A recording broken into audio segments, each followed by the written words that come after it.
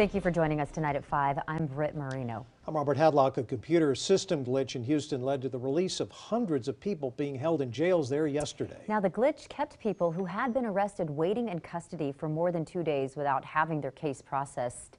That's longer than state law even allows, leading to those defendants being released. At least one judge blamed a backlog in cases, making it nearly impossible to hold defendants any longer. KXAN's Jala Washington reports on how it's now drawing attention to a larger statewide issue. Those defendants simply couldn't get before a magistrate judge in a courtroom a lot like the one I'm in right now. So essentially, they ended up getting a get free card, at least for the time being. Though what happened in Houston is rare, backlog is a real concern for the entire state of Texas right now. You could expect an average of 186 criminal jury trials to be held across the state of Texas every week pre pandemic.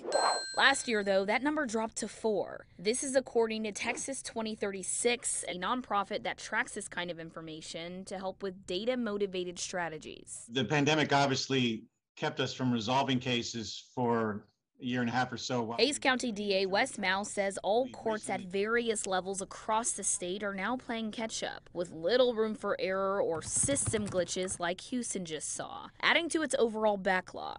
Texas lawmakers are doing some behind the scenes work to address how to speed up that process that could take up to five years, according to Texas 2036. It's not anything that's going to be simply fixed by creating courts, more judges, or, or we're not going to take uh, a lot of uh, working on efficiencies on those cases. Joe Moody, a state representative from El Paso, is the vice chair of the House Criminal Justice Reform Committee. He's prepping for the next legislative session and says addressing court backlog is top of mind. Make sure that we're not clogging the system unnecessarily so that when we have unprecedented events like this, it doesn't create a crisis. Jala Washington, KXAN News. Improving technology could be one way to address the court backlogs. Last session, lawmakers in Texas approved spending a half a million dollars each fiscal year. It was to implement a technology modernization program. The funding could increase beyond $4 million per year, depending on how effective the program is at reducing court backlogs.